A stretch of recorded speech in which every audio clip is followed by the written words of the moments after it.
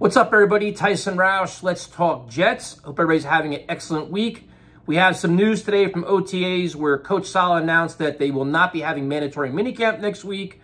Uh, his reasoning is that he feels comfortable with the preparation and all the practices so far. They also got a report early for the Hall of Fame game. So he's like, you know what? We feel we're in a good spot. Stay healthy, stay out of trouble, and we'll see you guys, you know, for training camp. I'm not going to give you any hot reaction here. Like, I'm not going to call Saleh soft. You got I'm wondering two things. I'm wondering what the overall team attendance was throughout this. I mean, you saw Rodgers there a lot. You saw Breece and Garrett and Sauce Gardner. So you got to figure all the primary playmakers were all there. The other thing is, too, is they have a veteran council, too. They have like a leadership council.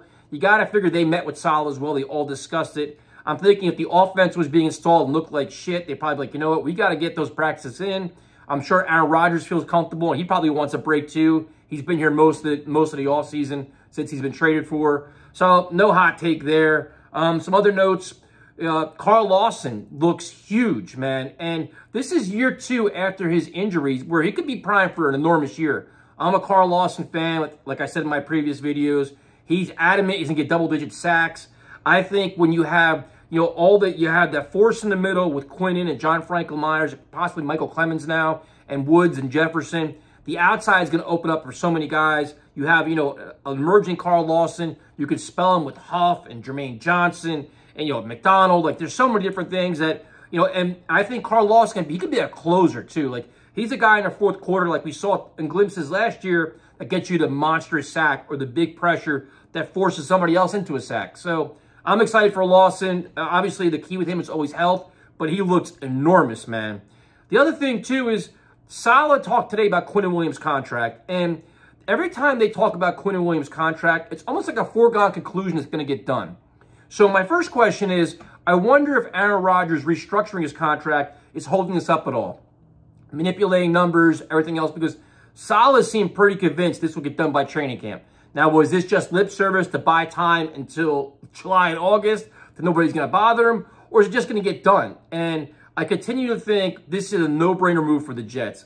Quinnen's heading into the prime of his career, arguably one of the best at his position. You know what the market is. A little bit less than Aaron Donald, and a little more than everybody else. Get it done. If he doesn't want, I'm, I'm guessing the Jets probably want to offer him five years. He may want three. Give him four. Just get it done. You don't need a distraction. You need him here. The team wants him. I mean, er, it just it just makes so much sense. And dollars and cents. But Saleh seemed pretty convinced. Douglas seems pretty convinced it gets done. I hope it does. The next thing is Saleh talked about Duane Brown again. And this Duane Brown situation is very interesting because he's a left tackle. Let's call it what he is. He doesn't play right tackle. They asked him about it. He said he maybe played in college and high school, which was 15, 18 years ago, 20 years ago. So I think if you're Saleh keeps saying you're going to play the best five, and it's just Duane Brown's one of your best five, he's your left tackle. And Mekhi Becton's either got to play right tackle or what are they going to do? Is it going to become a problem?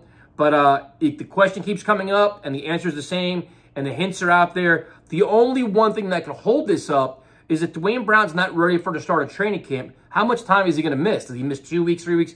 Will he be actually ready to play? And that could be the curveball. So stay tuned for that. But this situation has a potential. I'm wondering. I'm wondering how Mekhi handles this, man. If he if he's forced to play right tackle, does he embrace it and give the best and say, you know what? I want to make my, you know, this is a contract here. I'm going to go for it. Does he ask for a trade? Like, how does this all work out? But stay tuned for that. The last topic is Dalvin Cook, where obviously this is the time of year where it's a very slow news time where people are throwing things against the wall and everybody's chasing after it. Every free agent move the Jets have made over the past, ever since Joe Douglas has been here, has caught everybody by surprise. So now you're going to tell me that the Jets have revealed their hand and they've already got a deal done with Dalvin Cook. I don't believe any of that. I think it's somebody trying to put pieces together. But in terms of the Jets should look into him if he's released, my answer is 1,000% yes. And here's the reason why. I love Breece Hall, but I also realize that Breece Hall may not be 100% by week one. What if he goes on PUP for the first four weeks? How do you handle him? And if, if he's not ready, or if he's only can give him, if you only give him 8 to 10 carries a game, do you feel comfortable with Michael Carter and Zonovan Knight and Izzy? Or do you need a veteran here? And my answer is I want a veteran, man. Like I've been saying this before Dalvin Cook was even available. I wanted Kareem Hunt. I wanted Leonard Fournette. I, you know, I'd even take Ezekiel Elliott in terms of the guy that could pick up the blitz in the backfield, a leader, can get you the short yards, can get you the tough yards. So you add in Dalvin Cook, 28 years old, four 1,000 yard uh, seasons. He's, he's, a home run guy, man. He can just, he can, he's not, you know, he's not, I know like, like, like Madison in uh, Minnesota. Cook's a very good running back, man. Great locker room guy, great, great leader. Did I say great? Great leader. So to not, I mean, I wouldn't trade for him. If he becomes available, I 100% look into him. Because the Jets are all in, man. Like, if you have a one-two combo of Breece Hall and, and Dalvin Cook, what are you mad about that? It's a significant upgrade. He can catch the ball out of the backfield. And the other thing, too, is, like, the Jets don't get Dalvin Cook. They don't look into him. He could go to Miami. And you're going to see him twice this year then. So, I mean, I don't look, I don't, the Jets are not in a position right now, I think, where at running back or wide receiver where you can just say, you know what, we're good. You can always upgrade. It comes to playmakers and offense. You want to score as many points as humanly possible. If he gives you the, a way to do that, do it. In terms of the cap space, the Jets have cap space. Cap space is not an issue. So I'm not worried about that. If you got to sell your soul for next two years to bring in prominent playmakers to get you to that next level, the next level meaning the championship game, the Super Bowl. I mean, I'm treating the Jets like a very good team. If you can go from, you know, very good to great, make that move.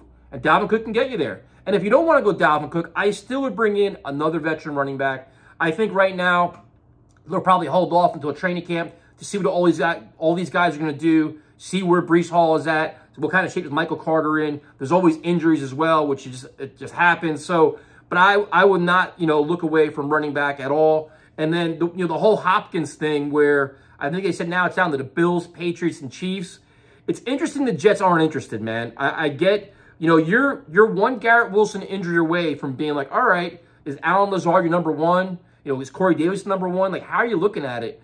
To not even be, not even consider it, the Jets were kind of arrogant about it. We're like, you know, we're not interested. Our wide receivers are, are good, unless that's just trying to get everybody off their scent and they're actually trying to make a move for them. So, I mean, I, I'm always looking to upgrade positions, man. So we'll see what happens there as well. Other than that, I think I covered everything. I'm trying to rush, man, because I got to go to the gym. But uh, hope everybody's well. We'll be back live Monday night with another special guest. Um, and if you have any other people that you want me to interview, Monday nights at 8 o'clock, I'm trying to bring on different guests to interview. I'm going to start taking calls after that as well. If you have people you want me to bring on, I'm more than willing to bring people on, different analysts, different content creators. Just give me recommendations. Other than that, I'll talk to you later.